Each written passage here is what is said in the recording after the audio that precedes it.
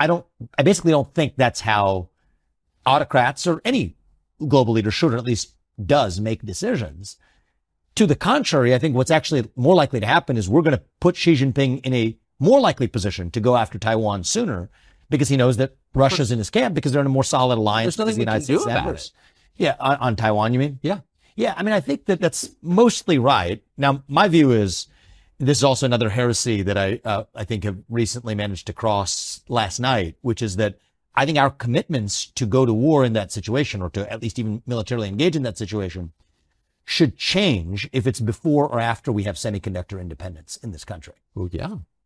I mean, I think so. Right? So I, I, I agree with you completely, but I, uh, um, for people who aren't following this, explain what you mean. Yeah, yeah. So this is a you know long history here, but for historical circumstances that you know are long and, and unfortunate, we are dependent on a tiny island nation off the southeast coast of China for our entire modern way of life. Right? These lights wouldn't work. The phones in our pockets wouldn't work. These you know TV screens and cameras wouldn't work if it weren't for leading edge semiconductors that are manufactured by basically one company and a set of companies around them, TSMC on Taiwan, that power our entire modern way of life. That's just a hard fact. How we got here, it's a long story. I think it's sad that we are where we are, but we are where we are. China has two reasons to want to go for Taiwan. Okay. One is a nationalistic reason, which is that back in 1949, they had this complicated civil war. Chiang Kai-shek, Yeah, yeah. you know, went to Taiwan and claimed that that was actually where the real Republic of China was based. And Mao Zedong said, no, no, no, it's the Communist Party of China out of Beijing. And for the longest time, actually, the US and the UN recognized actually the real China as being run out of Taipei. But at some point along the way, switched to saying, no, it's actually run out of Beijing. And so there's this nationalistic thing going on that's super complicated history over there. But there's a more modern motivation for Xi Jinping, which is, wait a minute. If I now have control over that island, I have control over the entire United States because I now have the economic leverage to get to a deal that the U.S. wouldn't have said yes to. And I think what Xi Jinping is going for is the basic deal where he says, I get to make your stuff as long as I get all of your IP and everything else in return. And right now, if he says that to the U.S., we're not going to go for that deal. But if he's squatting on the semiconductor supply chain, well, then that's how we ultimately get to parity, consummate the codependent relationship.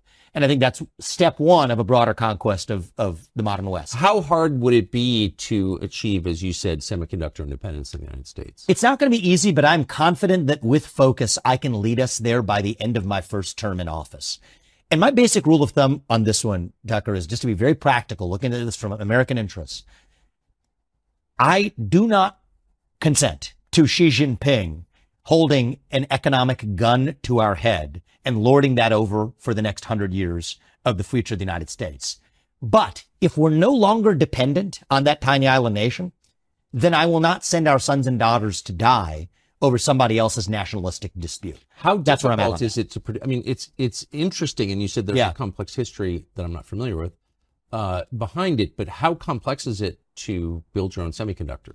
It's complicated because a lot of it relies on know-how. So it's not just raw production capability, but it's the know-how of how you actually make it. And so I think that requires pulling people from, you know, TSMC in Taiwan to the United States. And I think that that's something that we should be intensely focused on right now. There's new, you know, giant projects, manufacturing projects in Arizona, n- near where I live, actually in my home state of Ohio, that are going to be steps forward in that direction. I also think that, like it or not, a relationship with South Korea and Japan is going to have to play a role in speeding up our semiconductor self-reliance as well. Samsung is the next best leader. It's not even an American company. After TSMC, there's like a big jump down. Then it's Samsung. Then there's a big jump down. There's Intel and everybody else here. So I think that it's going to require, and I don't like multilateral trade agreements, but if we're going to have to do them, let's keep it bilateral. Bilateral agreements with Japan, with South Korea. That's a big part of what's going to be required. And so my view is, let's think about first term in office as it relates to this dimension of foreign policy. End the Ukraine war on terms that help pull Russia out of China's hands. That's going to require rebuilding a lot of trust. I think I'm up for that job. And I believe that Putin can trust us to follow our self-interest as long as we trust him to follow his. Reopen economic relations with Russia, freeze the current lines of control, make a permanent commitment that NATO will not admit Ukraine to NATO. But in return, weaken, if not disband that Russia-China alliance. I'd get India back on side. And, you know, if there's a guy who's going to rebuild trust with India, it better be a guy with the name Vivek Ramaswamy who might be up for that task. But, you know, getting India on, on side to say, you know what, we're going to be making sure that in a conflict situation in Taiwan, that we're at least on side with the United States. But then more importantly, get semiconductor self-sufficiency in the United States, reduce our economic dependence on China.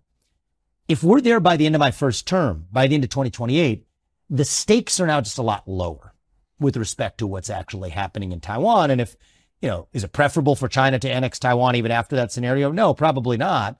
But that's a different bar for whether or not we're going to actually be willing to send our sons and daughters to die over it. And in the meantime, there's one aspect of our national defense that surprisingly nobody's talking about, Tucker, which is actually our national defense of the homeland, where we have actually badly missed the plot for super EMP attacks, cyber attacks, nuclear defense, you know, we helped Israel build an Iron Dome. How about an equivalent of an Iron Dome for the United States and our own homeland? And so that's where I'm focused in my first term.